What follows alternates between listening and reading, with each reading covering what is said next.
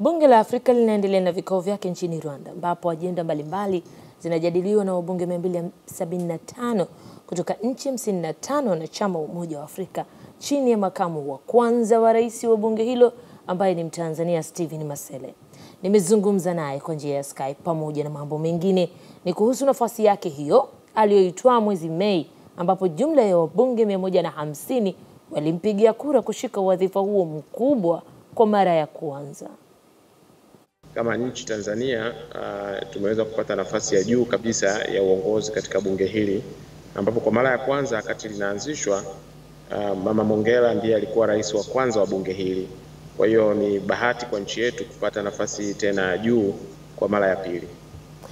Kuna hoja ambayo imezungumzwa sana hata katika uh, uh, uanzishaji wa chombo kama AU lakini vilevile uh, kuwepo kwa bunge la Afrika Mashariki na sasa hili bunge la Afrika. Na vilevile vile, hata mmoja ya wabunge katika bunge lako uh, uh, David Silinde alijaribu kuionyesha ama alijaribu kuiwasilisha mbele yako kwamba sasa bunge liondokane na kule kushauri, ifike mahala muwe mnatunga sheria na hizo sheria zisimame katika mataifa ya Kiafrika. Sasa unaonaje kufikia hapo kwa mabunge haya hata ya Afrika Mashariki na pamoja na la, la, la Afrika kwa, kwa, kwa ujumla wake?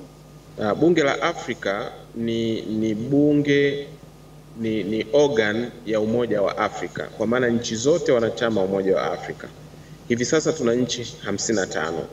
Bunge la Afrika Mashariki ni bunge la kikanda, ni, ni dogo kwa maana ya la eneo, kwa maana ya mandate yao yenyewe inasimamia nchi za Afrika Mashariki peke yake. Kwa hiyo uh, katika utamaduni ule ule wa kuwa na eh, mhimili kusimamiana, kwa hiyo bunge la Afrika linasimama kama muhimili unaojitegemea kuweza kusimamia shughuli mbalimbali za Umoja wa Afrika. Kwa hivyo uh, ilipoanzishwa ilianzishwa katika awamu. Awamu ya kwanza ilikuwa ni kama chombo cha kutoa ushauri kwa wakuu wa nchi wanapokutana katika vikao vya Umoja wa Afrika kule Addis Ababa, lakini lengo kubwa ni kuendelea kuliimarisha kama taasisi na kufikia sehemu kwamba iwe sasa ina mamlaka kamili ya kutunga sheria na sheria zile ambazo zitakuwa zinatumika kwa nchi wanachama wa Umoja wa Afrika na mara nyingi mambo ambayo tunayajadili sisi ni yale mambo ambayo yanavuka mipaka ya nchi moja. Kwa hivyo uh, majukumu ya bunge hili uh, ni makubwa sana, kwa maana yanabeba uzito wa changamoto zile ambazo zinavuka mipaka ya nchi moja. Kwa hivyo shughuli zake kutoingiliana na majukumu ya mabunge ya nchi moja moja kama bunge la Tanzania, bunge la Kenya, bunge la Zimbabwe. E, sasa sisi tunaenda tunakuwa kama ni upper house tunajadili masuala ambayo yanahusisha wananchi wote wa bara la Afrika na sio tu masuala yanayohusisha nchi moja. Tunashuhudia uh, bunge lako likitumia Kiswahili uh, lugha adhimu kabisa uh, kuendeshea shughuli za kibunge hapo katika bunge la Afrika. Kwa namna gani wabunge wamepokea lugha hii kwanza, na mkakati gani mmejiwekea kuendeleza mijadala ndani ya bunge hata kwa wengine ambao hawajui Kiswahili kuhamasika kukizungumza?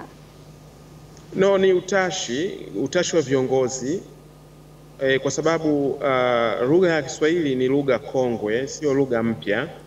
Na utakumbuka mimi nilipochaguliwa, Mheshimiwa Rais aliponipokea uh, Dar es Salaam, aliweka wazi kabisa kwamba alifurahishwa na mimi nilipotumia Kiswahili katika uh, vikao vya Bunge, na kusema ukweli ni fursa kubwa sana ya ajira kwa Watanzania wengi ambao wanafanya kazi za ukarimani lakini ni fursa kubwa ya ajira kwa Watanzania na watu wa Afrika Mashariki wanaofanya kazi za kufundisha lugha ya Kiswahili. Kwa hiyo ni utashi wa viongozi. Mimi binafsi nimeamua kuchukua jukumu hilo la kuitangaza Kiswahili katika bara zima la Afrika na kote ninakokwenda kwenye mikutano yangu sasa ninatumia Kiswahili.